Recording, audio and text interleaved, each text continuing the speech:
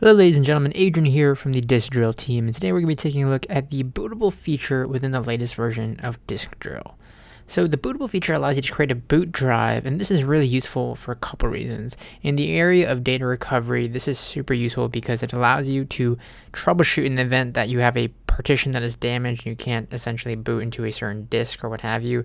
Having a boot drive is always handy uh, to have. So you can create this in Drill, but when you go to the app here, you'll see your listed drives, and you'll see in the top here the ability to create boot drive. Now by clicking on this, we'll open the boot drive wizard, and it's going to walk you through essentially what this does. So again, like I mentioned, to increase data recovery chances, in the case of let's say your, your main drive or whatever system partition is corrupted, this is essentially future-proofing in the, in the event that something goes wrong, allows you to create a boot drive via Drill. So you'll need a two gigabyte or more flash drive, so USB flash drive to be inserted. And essentially the steps here is you're going to choose a source recovery drive from a acting OS 10 partition in this case. You choose a destination drive to make bootable. And once done, you can easily reboot, in this case, your Mac, holding the option key and then choosing that disk drill boot drive to partition safely and recover your data via that boot drive here. So okay, let's do it. We'll hit that button there. And you'll see here, we to choose our recovery partition. Now in this case, I already have a recovery HD on this current installation of OS 10. So we'll use this as a source. So that's step one, selecting the source of which we want to use for our recovery drive here.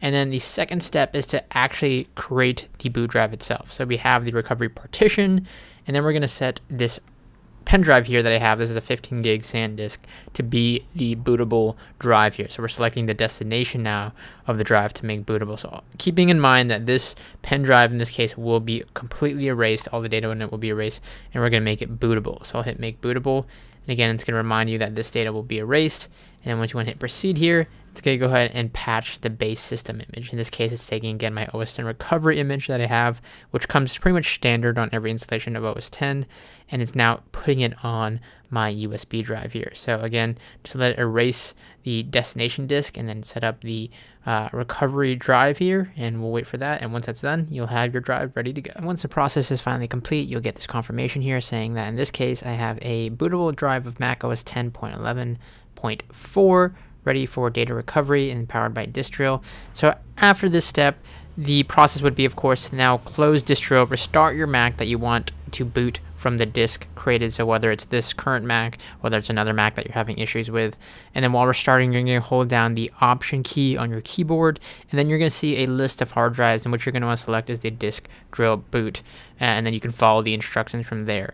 So again, this is really great for getting into a system that may be damaged if it has a you know partition, whether it's on the software side or just on the hardware side or hard drive that you can't get into, but you want to be able to recover data. Creating a bootable disk is always handy to have. And just handy to have in the case that in the future if anything goes wrong, you have it already created and ready. You have that recovery and bootable drive good to go. So all of that can be done here with Disk Drill. Check it out today.